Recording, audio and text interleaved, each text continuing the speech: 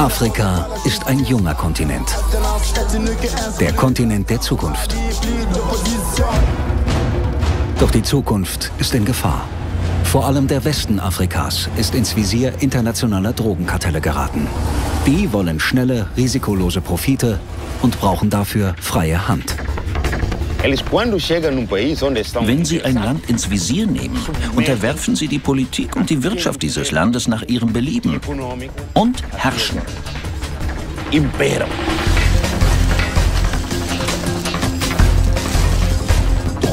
Drogen. Wir finden sie bei den Dschihadisten, wir finden sie im ganzen Sahelgebiet und wir finden sie überall in Westafrika.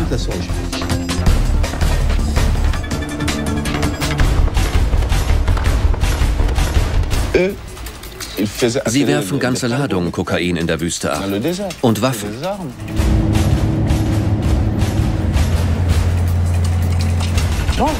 Wir sind nicht die Produzenten. Wir werden bloß als Sprungbrett, als Durchgangsstation benutzt. Es ist ohne Zweifel eine Tragödie für die ganze Region.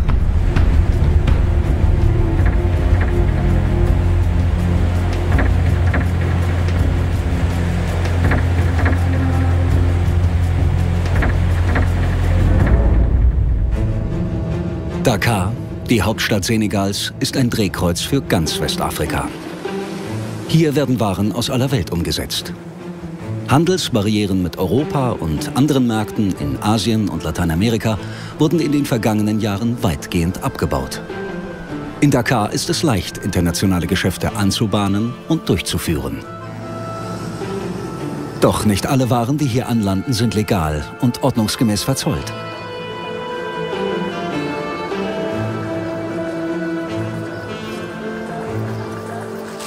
Kommissar Ndour von der Drogenfahndung der senegalesischen Polizei zeigt das Ergebnis der letzten Razzien am Flughafen und am Hafen. Kokain, in Plastik eingeschweißt, sogenannte Bodypacks, die Kuriere im Magen nach Europa transportieren wollten. Und reines Kokain im Wert von über 2 Millionen Euro. Von den Beamten in einem Schiff entdeckt,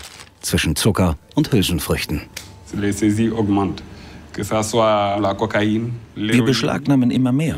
Kokain, Heroin, Haschisch, Methamphetamine. Wir finden immer mehr.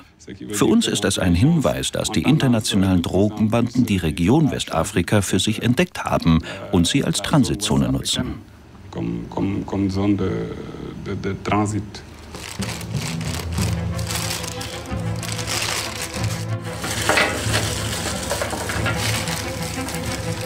Vor ein paar Jahren war Kokain in dieser Region so gut wie unbekannt. Heute ist es fast so alltäglich wie Cannabis. In ganz Senegal gibt es keinen einzigen Drogenspürhund. Kommissar Ndour hat nur 75 Mitarbeiter und die sind für ein Gebiet zuständig, das halb so groß ist wie Deutschland.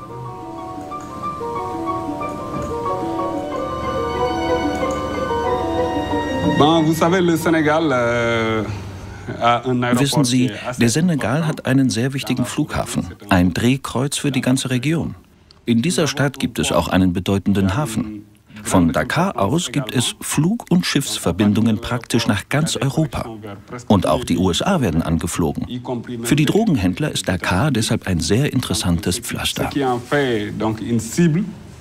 Pour, euh, disons, les, les narcotrafiquants. In den vergangenen zehn Jahren wurde der internationale Drogenschmuggel zu einem immer größeren Problem für Westafrika. In Dakar haben die Vereinten Nationen deshalb eine Behörde für die Bekämpfung von Drogenhandel und organisiertem Verbrechen eingerichtet. UNODC. Der Leiter, Pierre Lapac, war früher Kriminalkommissar und Antimafia-Ermittler in Lyon. Über 400 Milliarden US-Dollar jährlich, schätzt Pierre Lapac, werden weltweit allein mit Kokain umgesetzt. Und Westafrika ist die ideale Transitregion. Geografisch genau zwischen den Erzeugerländern Lateinamerikas und Europa.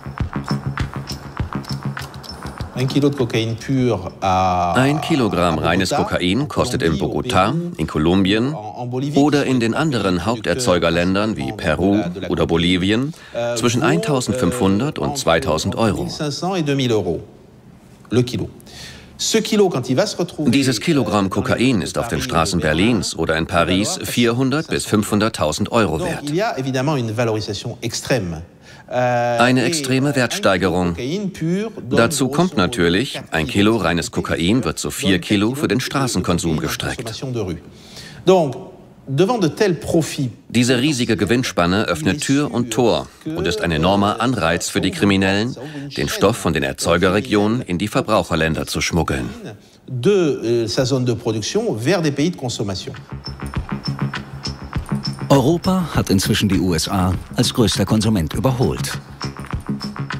Die schnellste Schiffsroute von Amerika nach Afrika liegt am 10. Breitengrad nördlich des Äquators. Experten und Ermittler nennen sie deshalb Highway Nummer 10. Hunderte Schiffe befahren diese Route täglich. Auf diesem Weg werden jährlich 60 bis 250 Tonnen Kokain aus der Andenregion in Südamerika durch Westafrika Richtung Europa geschleust. Die Gründe sind vielfältig.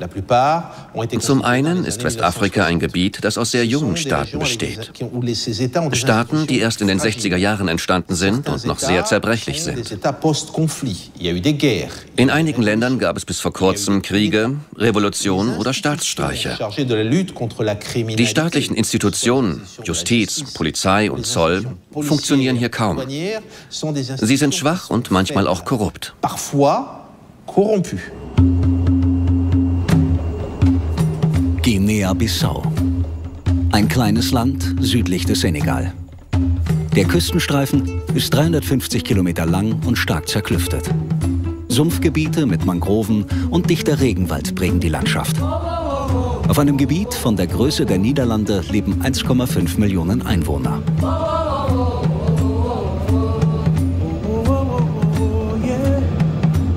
Fast ein Drittel der Bevölkerung der ehemaligen portugiesischen Kolonie wohnt in der Hauptstadt Bissau.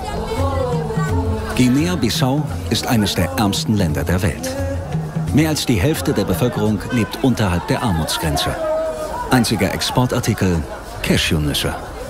Durchschnittliche Lebenserwartung unter 50 Jahre. Die Einkommen im Land sind sehr ungleichmäßig verteilt. Einige wenige Menschen verfügen über großen Reichtum. Woher das Geld kommt, das bestimmte Leute in Guinea-Bissau innerhalb kurzer Zeit so reich werden ließ, diese Frage ließ Calvario Aucarier über viele Jahre nicht los. Zwischen 2007 und 2012 arbeitete der Polizeikommissar als Chef des Interpol-Büros in Guinea-Bissau. Im Auftrag internationaler Ermittlungsbehörden versuchte er mit aller Kraft, den Drogenschmuggel zu bekämpfen. Dabei ermittelte er gegen mächtige Drogenhändler. Einer von ihnen war der Venezolaner Carmelo Vázquez Guerra, der über 600 Kilo Kokain geschmuggelt hatte.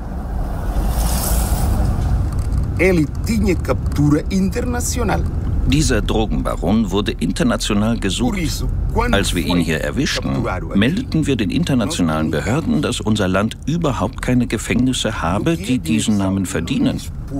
Auf Gefangene dieses Kalibers sind wir überhaupt nicht eingestellt. Und nach einigen Tagen geschah genau das, was ich befürchtet hatte. Seine Freunde, mächtige Leute hier in Guinea-Bissau, sorgten dafür, dass dieser Drogenbaron unbehelligt ausreisen durfte. Kaum ein Land hier in Afrika hat die Möglichkeit, das organisierte Verbrechen wirksam zu bekämpfen. Ein ungleicher Kampf. Ja, die Verbrecher haben alle Mittel dieser Welt. Geld, alles. Während seiner Zeit als oberster Drogenermittler des Landes musste Calvario Aucarier erkennen, dass das Militär sein mächtigster Gegenspieler ist. Überall im Land bestimmen Soldaten das Straßenbild. Längst hat sich das Militär zu einem Staat im Staate entwickelt. Der größte Arbeitgeber des Landes. Und kaum eine Armee der Welt hat so viele Generäle wie die Guinea-Bissaus. Und die gerieten in den vergangenen Jahren immer tiefer in den Sumpf der Illegalität. Ein Teil der Militärführung profitiert direkt vom Drogengeschäft. Hohe Militärs sind sogar in politische Morde verwickelt. Rückblick. Bei einem Attentat im März 2009 wird der oberste Armeechef Takme Nawai ermordet. Zwölf Stunden später wird auch Staatspräsident Nino Vieira erschossen. Die beiden hatten die Kokainmafia ins Land geholt, berichtet der ehemalige Interpol-Chef. Ihre Allianz endete in einem blutigen Machtkampf. 2012 wurde Kommissar Calvario vor die Tür gesetzt. Kurz zuvor hatte sich eine neue Militärführung an die Macht geputscht und kurzerhand das Interpol-Büro schließen lassen. Jeder Versuch seitens Interpol und der internationalen Gemeinschaft zu intervenieren wurde zurückgewiesen, mit dem Hinweis der Militärs, Guinea-Bissau sei ein souveräner Staat. Calvario gelangen in seiner aktiven Zeit immer wieder spektakuläre Beschlagnahmungen. Kurz vor seinem Rauswurf gehen ihm auf einen Schlag sieben Schmuggler, unter ihnen einige guineische Soldaten, mit 700 Kilo Kokain ins Netz.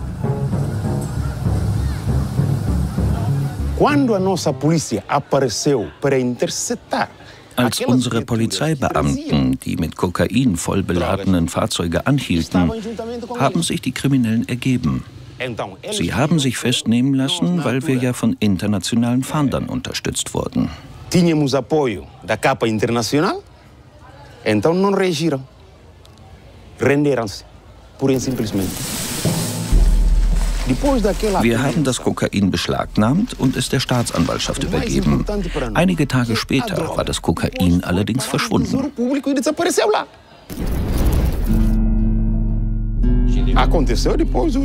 Hohe Militärs hatten die Zentrale der Kriminalpolizei von Guinea-Bissau überfallen und die Verhafteten wieder befreit.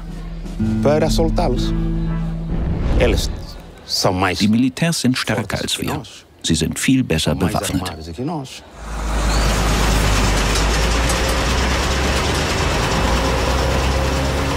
Bissau, die größte Hafenstadt des Landes, liegt in einer zerklüfteten Küstenlandschaft. Offiziell sind 20 Seeleute für die Überwachung der 350 Kilometer langen Küste zuständig. Allerdings, den Marinesoldaten steht kein einziges Boot zur Verfügung.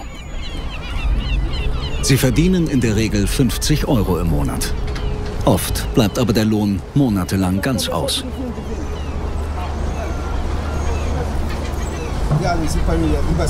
Wenn man ihm 300 Euro und auch den Sprit für das Motorboot bezahlt, dann nimmt Bob Kandé jeden mit auf die Bijagosch-Insel.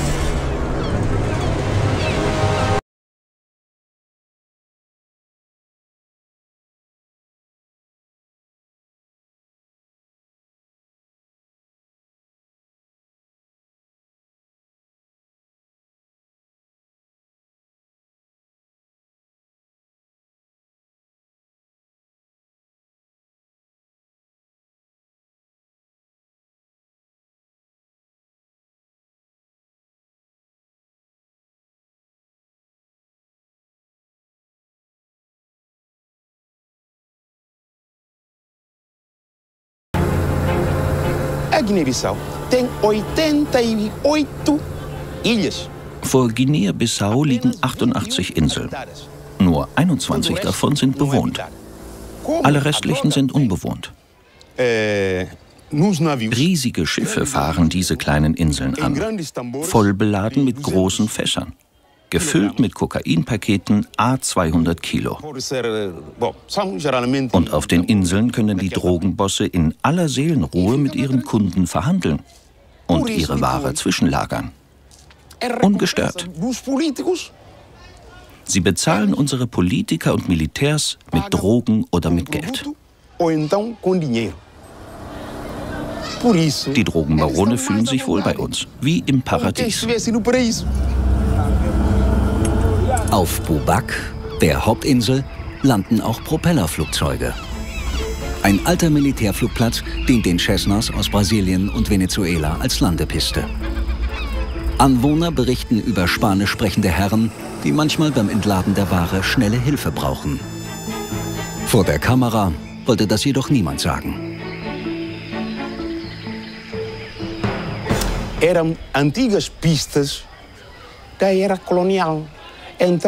Es handelt sich um alte Pisten aus Kolonialzeiten. Es gab früher überall solche Pisten, in fast jedem Ort, für die Versorgung der Militärtruppen aus der Luft. Und genau diese Pisten haben die Drogenbosse reaktiviert. Wir werden sehen, wie unsere neue Regierung jetzt auf die Situation reagiert. Seit 2014 hat Guinea-Bissau eine demokratisch gewählte Regierung. Eine große Koalition unter Beteiligung der wichtigsten Parteien. Die Regierung distanziert sich offiziell von den am Drogengeschäft beteiligten Militärs. Grundlegende Veränderungen in der Justiz, die Verhaftungen von Drogenbossen nach sich gezogen hätten, bleiben aber bisher aus.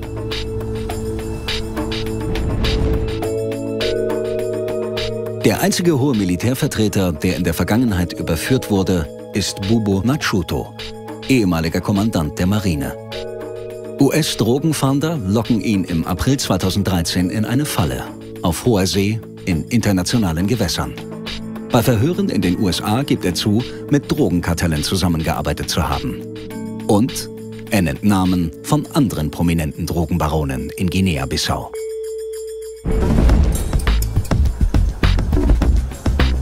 Und diese Namen tauchen jetzt auf internationalen Fahndungslisten auf wie zum Beispiel auf der Kingpin-Act-Liste der US-Regierung.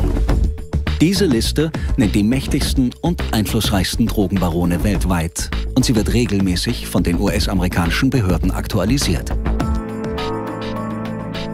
Einer der aktuell meistgesuchten Drogenbarone ist Francisco de Fatima Frederico Barros, genannt Chico Barros. Kapverdischer Staatsbürger, Wohnort Bissau.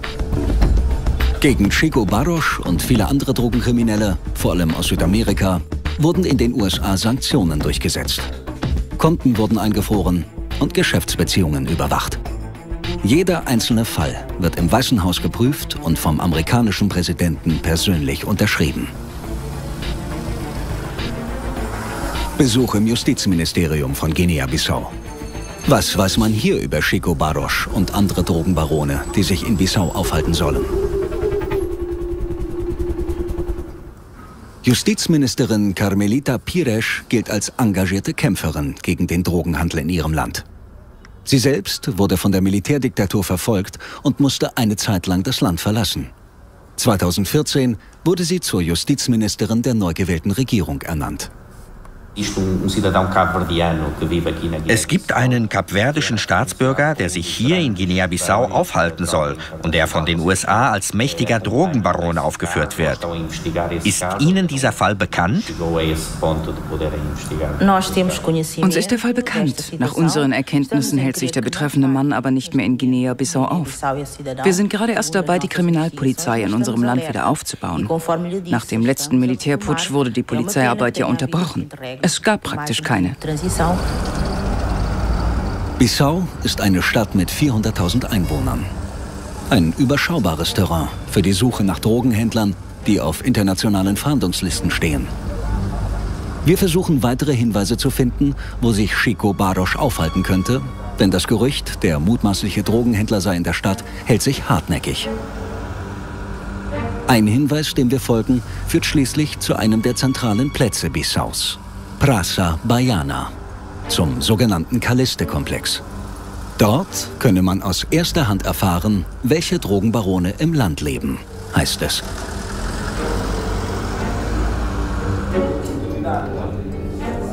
Am nächsten Tag dürfen wir hinein. Wir werden zwischen roulettischen und einarmigen Banditen empfangen.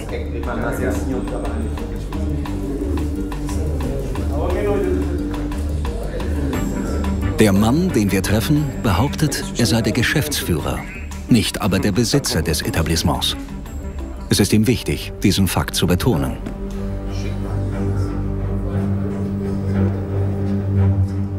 Wer sind Sie? Francisco Barros. Ihr vollständiger Name? Francisco de Fatima Frederico Barros. Chico Barros, so werden Sie hier in Guinea-Bissau genannt. Sie werden auf einer Liste der USA als einflussreicher, international operierender Drogenbaron geführt. Das stimmt nicht. Ich bin vollkommen überrascht von diesem Vorwurf. Ich hatte niemals mit Drogenhandel zu tun. Vielleicht hatte ich mit Leuten zu tun, die damit in Verbindung stehen. Mit einigen bin ich vielleicht sogar befreundet. Ich selbst habe damit aber nichts zu tun. Ich lehne das vollkommen ab. Ich habe mein ganzes Leben lang ehrlich gearbeitet.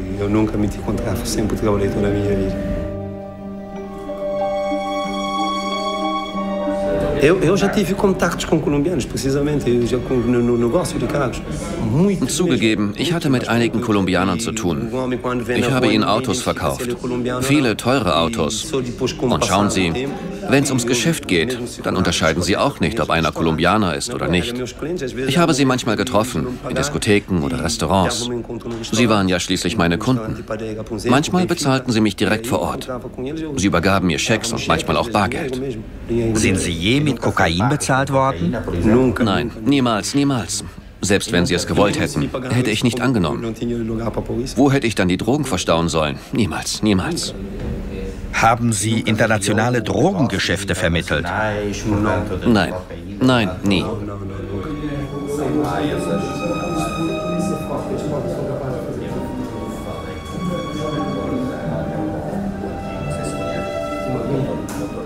Wie erklären Sie sich, dass die Amerikaner Sie auf so eine Liste setzen? Ich weiß es nicht. Ich will nur sagen, dass ich bereit bin zur Zusammenarbeit mit den Behörden. Ich würde zum Beispiel nach Dakar fliegen, wenn ich vorgeladen würde. Ich will aber nicht mit Gewalt abgeführt werden. Ich will nicht in eine Falle gelockt oder von Agenten entführt werden wie andere hier. Ich glaube auch nicht, dass das passiert, denn ich bin sehr vorsichtig. Wenn Sie wirklich was von mir wollen, sollen Sie doch auf mich zukommen. Ich bin bereit, zu Ihnen zu fahren. Eles contactam comigo, criamos forma, criamos forma de, se for necessário, eu vou até lá.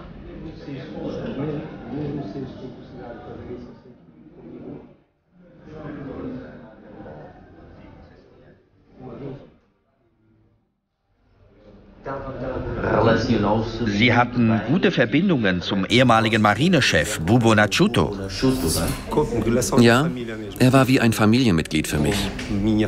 Unsere Angehörigen hatten auch ein sehr enges Verhältnis. Ich habe ihn sogar Onkel Bubo genannt. Er war für mich wie ein enger Angehöriger.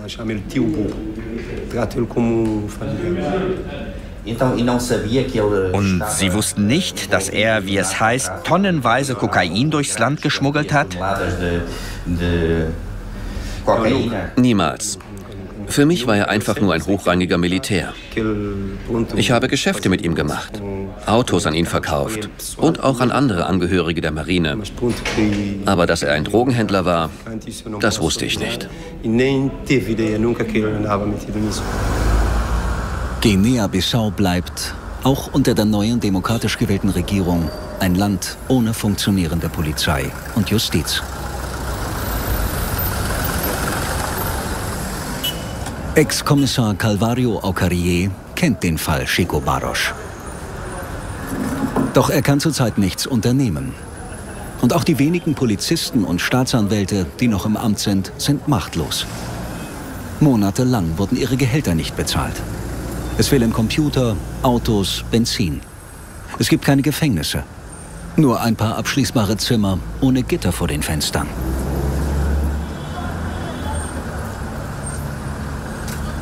Unsere eigene Recherche hat gezeigt, es wäre ein leichtes, international gesuchte Verbrecher aufzuspüren.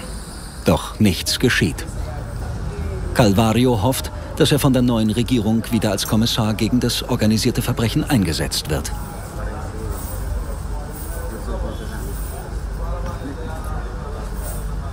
Crime organizado não precisa de licença para entrar num país. Das organisierte Verbrechen braucht keine Lizenz.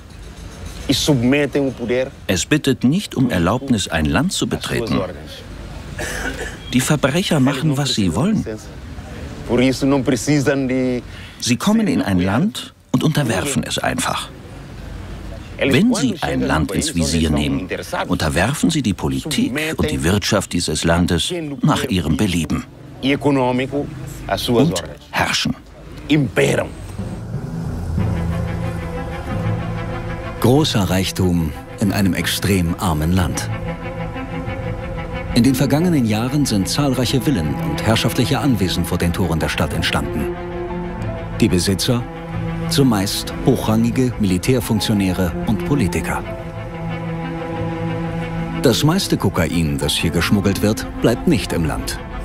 Guinea-Bissau ist vor allem eine Durchgangsstation für die Drogen auf dem Weg Richtung Europa, wo die Drogenmafia für das Kokain viel höhere Preise erzielt.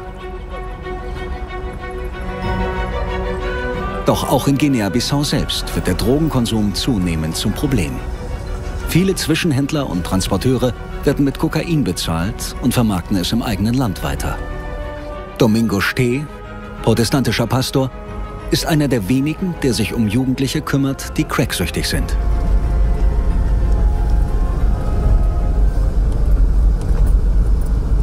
Er betreibt eine Entzugsstation für Drogenabhängige. Sie liegt 30 Kilometer von Bissau entfernt in Kinyamel, einer abgelegenen Gegend. Zwei alte Gebäude ohne jede Ausstattung, ohne Geld und praktisch ohne Medikamente. Es gibt keinen Strom und kein fließendes Wasser. Esse centro realmente é construído eh, para acolher pessoas e dieses Zentrum haben wir aufgebaut, um junge Menschen aufzunehmen, die Opfer der Drogen in Guinea-Bissau geworden sind. Sie werden von ihren Angehörigen hierher gebracht, inzwischen aus dem ganzen Land. Aus Gabu, Bafata oder Kanchungo. Leider sind wir kaum darauf vorbereitet und unsere Regierung hat auch keine Mittel, um dieses Problem wirksam zu bekämpfen.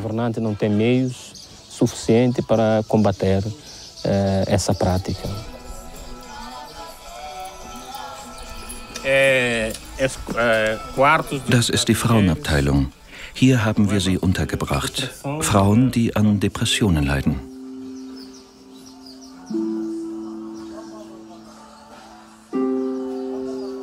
Und das ist das Lager für die drogenabhängigen Männer. Allein in diesem Raum sind 35 junge Männer untergebracht.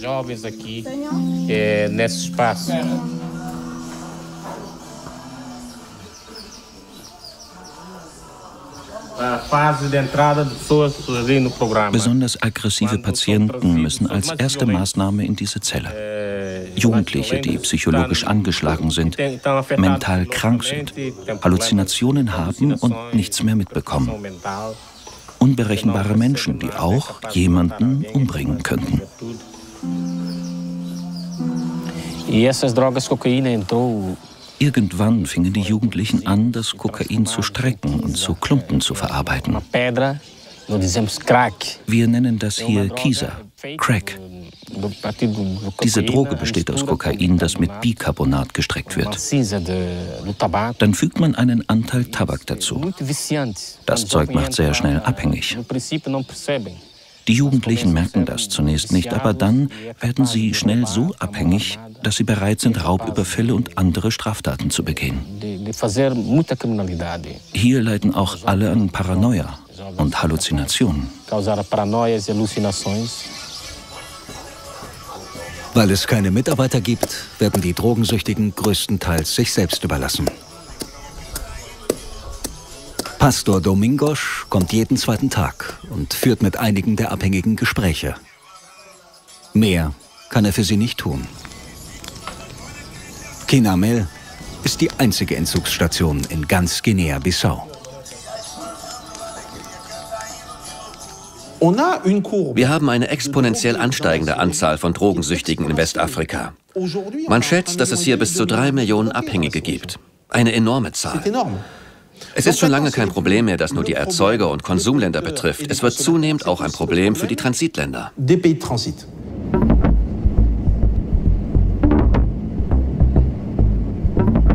Anflug auf Bamako, die Hauptstadt Malis. Fast zwei Millionen Menschen leben hier. Insgesamt hat Mali 15 Millionen Einwohner. Bamako erlebt seit 2012 ein Flüchtlingsdrama. Aus dem Norden des Landes strömen Hunderttausende in die malische Hauptstadt. Sie haben keine Bleibe, keine Jobs, kaum Verdienstmöglichkeiten. Als Tagelöhner graben sie Sand aus dem Niger-Flussbett und verkaufen es an Baufirmen. Ihre nordmalische Heimat wurde von islamistischen Rebellen besetzt. Französische Streitkräfte griffen ein und schlugen die Islamisten zurück. Inzwischen hat Mali einen neuen Präsidenten. Doch der Konflikt schwelt weiter. Yeah, it's time to come back. La lumière mal braquée en Afrique. La démocratie trop penchée. Musiker MC Talca ist selbst aus dem Norden Malis in die Hauptstadt geflohen. Mit seiner Musik engagiert er sich für ein freies Land. Seine Botschaft, Kokain ist der Treibstoff, der den Terror in seinem Land befeuert.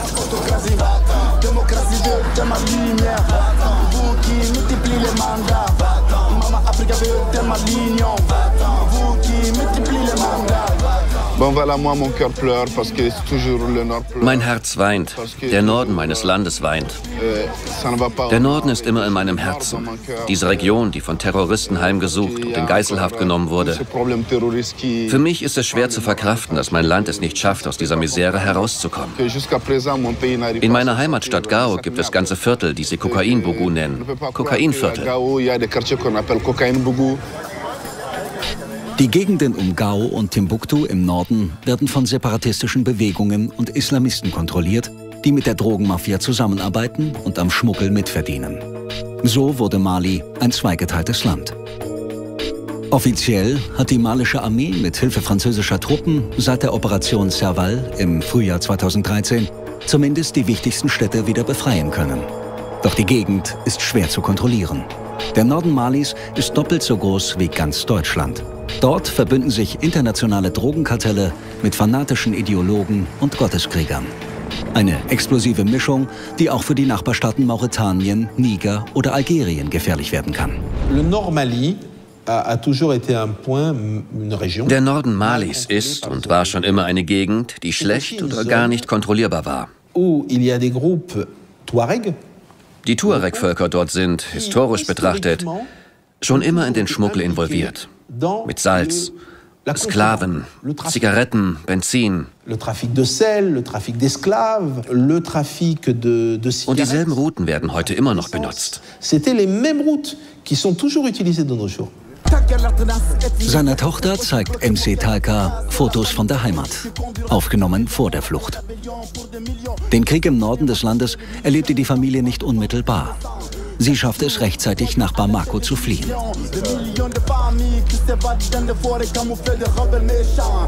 MC Talka hatte eine glückliche Jugend.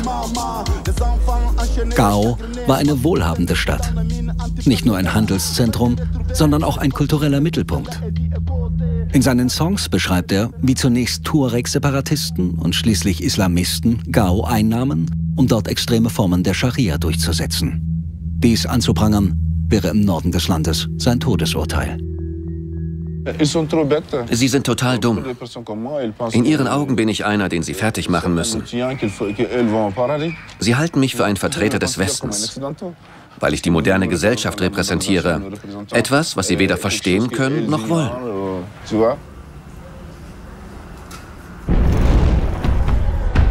Die Islamisten und Separatisten im Norden fordern Wegzoll und Schutzgeld von den Kokaintransporteuren auf dem Weg durch die Sahara. Mit diesen Einnahmen finanzieren sie ihre Waffenkäufe. Das beobachten nicht nur westliche Geheimdienste. Gleichzeitig können die Drogenschmuggler in den von den Islamisten kontrollierten Gebieten ungestört ihren Geschäften nachgehen.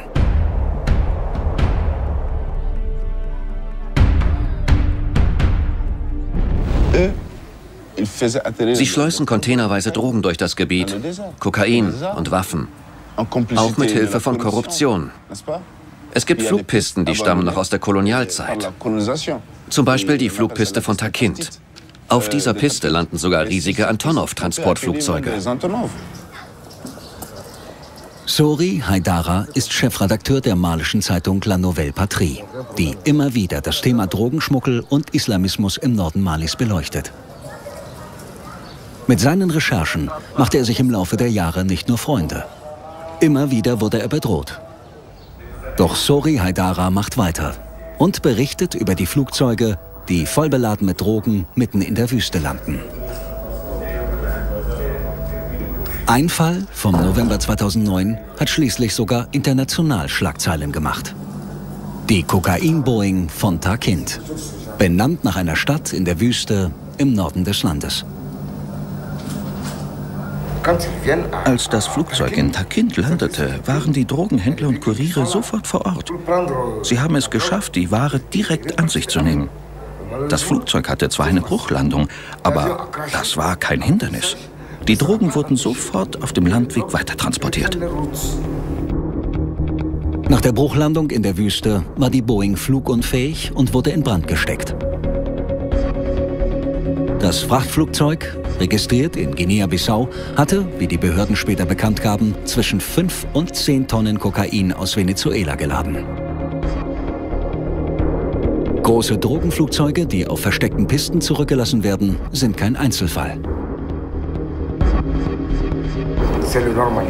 So läuft das im Norden Malis. Dort treffen sich die Mittelsmänner und Kuriere. Sie nehmen die Ware in Empfang und entscheiden dann, über welche Wege die Drogen weitertransportiert werden.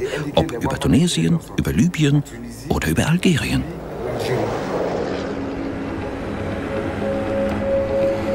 Voit plus le Boeing. Seit einiger Zeit beobachten wir, dass keine großen Boeings mehr eingesetzt werden. Die Drogenbanden haben gemerkt, dass es doch zu risikoreich ist. Sie nehmen inzwischen kleinere Maschinen, die unter dem Radar hinwegfliegen. Sie transportieren mehrere Tonnen Kokain. Und wenn es dann im Land ist, teilen sie es in kleinere Pakete auf. Denn besser ein Paket von 100 Kilo verlieren, als gleich die ganzen drei Tonnen. Januar 2013. Angriff der Al-Qaida im islamischen Maghreb auf die Gasanlage Amenas in Algerien. Die Terrorgruppe nimmt ausländische Arbeiter und Ingenieure als Geiseln. Der Anschlag endet mit einem Blutbad. Über 50 Tote.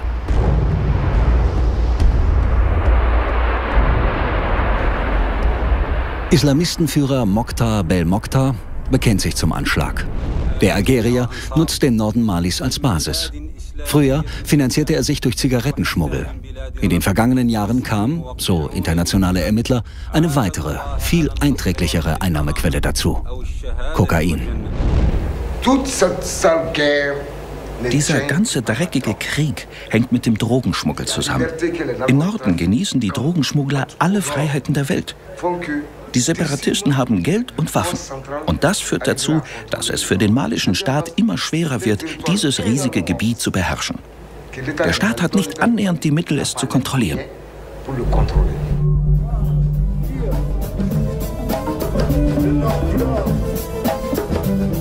Malis Hauptstadt Bamako ist im gesamten Westen Afrikas bekannt für ihre dynamische Musikszene. Hunderte Musiker flohen in den Süden des Landes, nachdem die mit der Al-Qaida verbündeten Milizen die Kontrolle über den Norden übernommen hatten und jede Form von Musik verboten.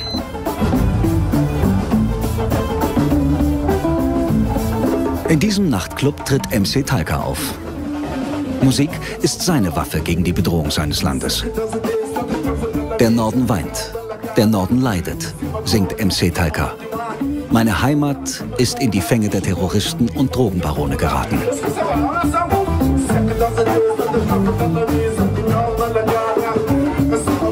Doch die Angst vor Anschlägen ist auch im Süden des Landes allgegenwärtig. 540 Kilometer vor der westafrikanischen Küste im Atlantik zwischen Südamerika und Afrika liegen die Kapverden. Auf den neun bewohnten Inseln leben insgesamt eine halbe Million Menschen unterwegs mit der kapverdischen Küstenwache auf einer Routinepatrouille. Angelo Garcia, der Kommandant des Küstenwachboots, überwacht ein Seegebiet von über 200 Seemeilen um die Hauptinsel Santiago. Der kapverdischen Küstenwache stehen insgesamt fünf solcher Boote zur Verfügung.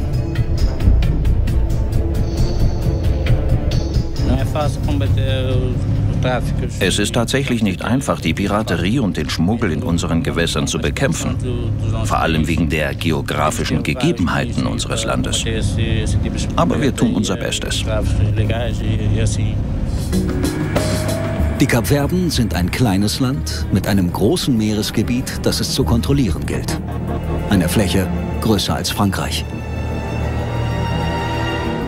Nach Schätzungen der Antidrogenbehörde der Vereinten Nationen wurde durch die Kapverden in den vergangenen Jahren etwa gleich viel Kokain geschleust wie durch Guinea-Bissau. Mehr als 30 Tonnen jährlich. Die Inselgruppe liegt nördlich vom sogenannten Highway Nummer 10 der kürzesten Route zwischen Lateinamerika und Westafrika entlang des 10. Breitengrades.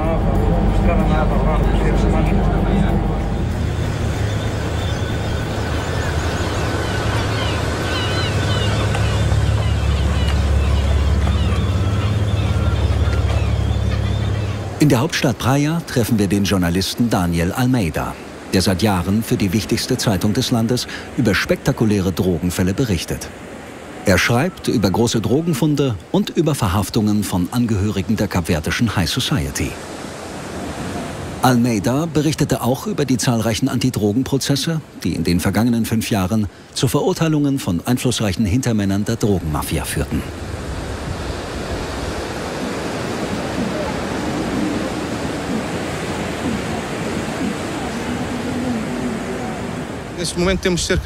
Auf den Kapverden sitzen zurzeit etwa 20 Drogenkriminelle in Haft.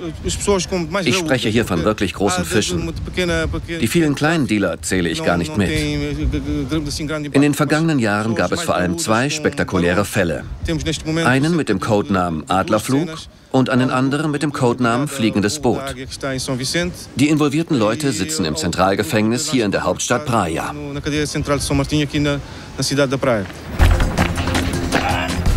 Die Erfolge wurden nur möglich durch kompetente Polizei- und Ermittlungsarbeit. Für westafrikanische Verhältnisse ist die kapverdische Polizei relativ gut ausgestattet und trainiert. Und das wird auch gern zur Schau gestellt. Regelmäßig werden Medien eingeladen, bei Übungen dabei zu sein. Anders als in vielen anderen Ländern der Region wurde hier eine Sondereinheit gegen Drogen- und Bandenkriminalität ins Leben gerufen. Alle Abteilungen sind international gut vernetzt vor allem mit europäischen Ermittlungsbehörden.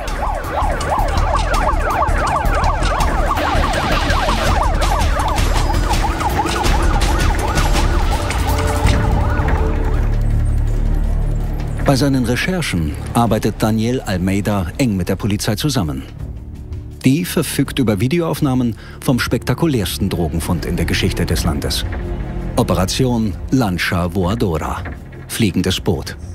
Ein Fall, der auch international Aufsehen erregt hat. Ermittler aus vier verschiedenen Ländern waren an der Aufklärung beteiligt. Sie hatten eng mit den kapverdischen Kollegen zusammengearbeitet.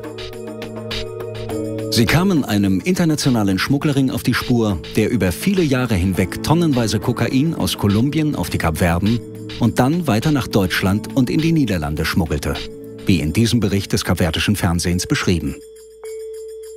Das Kokain kam nicht nur per Flugzeug und per Schiff, sondern, das vermutet die Polizei, sogar mit U-Booten.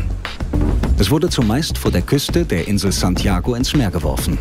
Hier wurde das Kokain dann von der Lancia Voadora übernommen, einem dreimotorigen Schnellboot. Dreimal schneller als die kapverdische Küstenwache.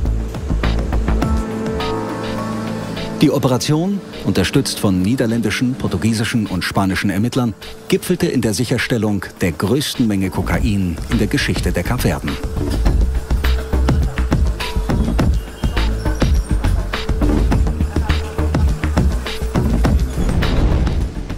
Im Oktober 2011 hat die Polizei in einem Keller eines Wohnhauses mitten in Praia eine Riesenmenge Kokain sichergestellt. Es war ein Haus, das einer Immobilienfirma gehörte, die auch im Besitz der Drogenschmuggler war. Mehr als 1,5 Tonnen Kokain wurden sichergestellt. Auch klein- und großkalibrige Waffen sowie Banknoten in ausländischer und kapverdischer Währung in sehr hohen Beträgen.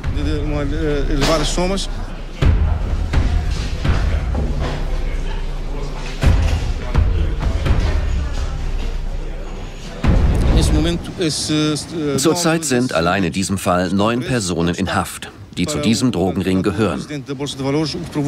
Unter ihnen auch der damalige Präsident der kapverdischen Börse. Das war ein richtiger Skandal.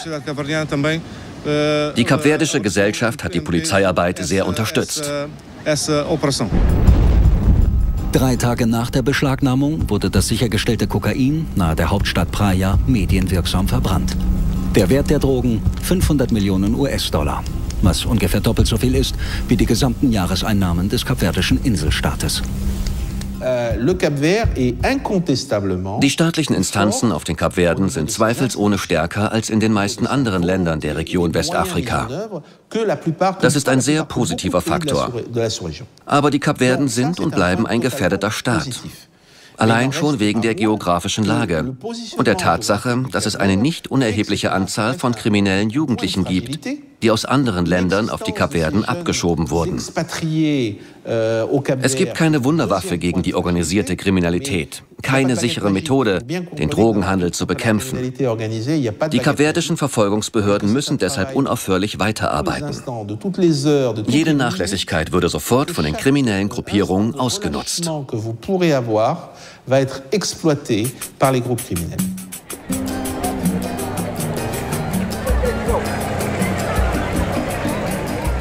Die Kapverden exportieren Bananen und Fisch. Auch der Tourismus ist eine langsam steigende Einnahmequelle. Das Geld für den Kampf gegen die Drogenkartelle ist dennoch knapp. Das Hauptproblem bleibt die geografische Lage. Das Inselgebiet ist extrem unübersichtlich. Bis zu 500 Kilometer trennen die Inseln im Nordwesten von denen im Südosten. Es gibt viele zerklüftete und kaum zugängliche Strände. Calheta de São Miguel auf der Hauptinsel Santiago ist ein ruhiger Ort. Die meisten der ca. 16.000 Einwohner leben vom Fischfang. Am 2. Juli des Jahres 2011 werden hier unzählige weiße Pakete an den Strand gespült. Daniel Fernandes war zu der Zeit Polizist und hatte Dienst. Seine Sondereinheit war erst ein paar Monate zuvor gegründet worden.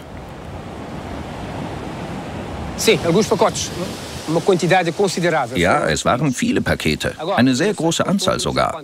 Wie viele genau konnten wir niemals feststellen. Aber es muss eine große Menge gewesen sein. Wir haben einige davon aufsammeln können, überall an diesen Stränden hier.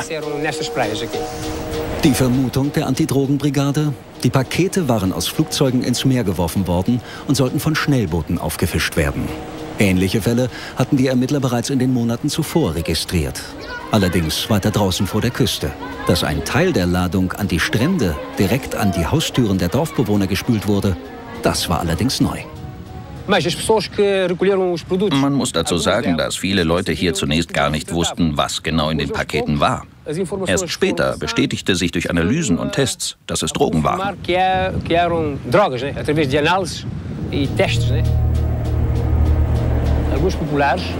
Manche haben zuerst gedacht, das Pulver sei etwas ganz harmloses. Und so haben sie es für ganz andere Zwecke benutzt. Einige, so wird erzählt, haben daraus eine Paste hergestellt und ihre Boote angestrichen. Auch Kinder sollen damit gespielt haben. Es gibt allerhand Geschichten, die man sich hier erzählt.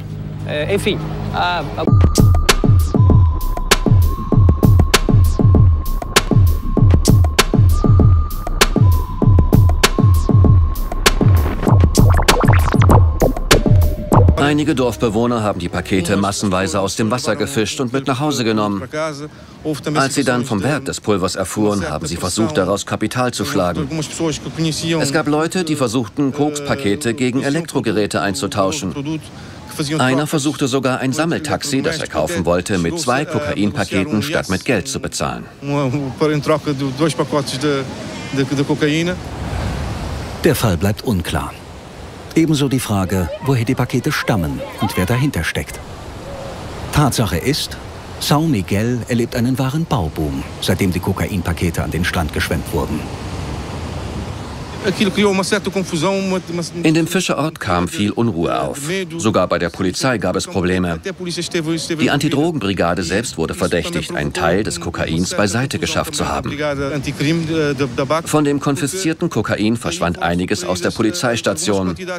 Und daraufhin wurden auch Polizeibeamte der Sondereinheit festgenommen.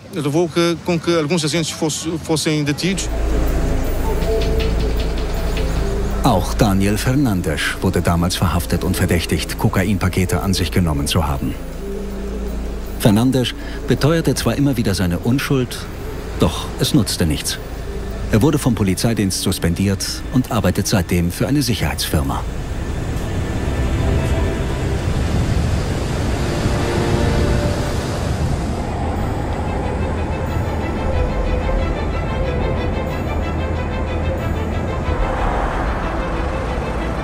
Die Kapverden bleiben ein gefährdetes Land.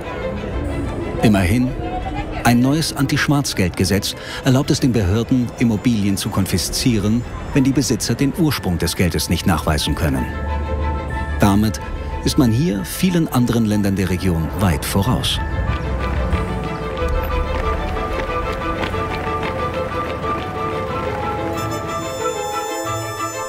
Im Vergleich zu den Kapverden sind die anderen Länder Westafrikas deutlich gefährdeter. Vor allem in Mali und Guinea-Bissau sind die staatlichen Strukturen praktisch zusammengebrochen. Inzwischen geraten alle Länder der Region immer mehr unter Druck durch den massiven Anstieg der Drogenkriminalität. Ganz Westafrika ist betroffen. Die Folgen? Korruption, Gewaltverbrechen und blutige Kriege.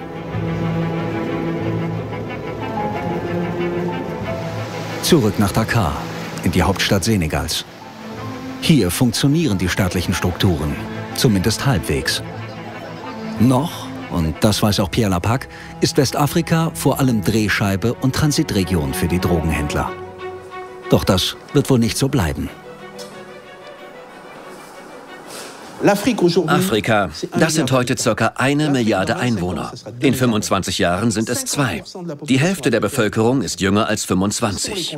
Wer sind die Drogenkonsumenten? Das sind junge Leute. Afrika ist also ein enormer Zukunftsmarkt.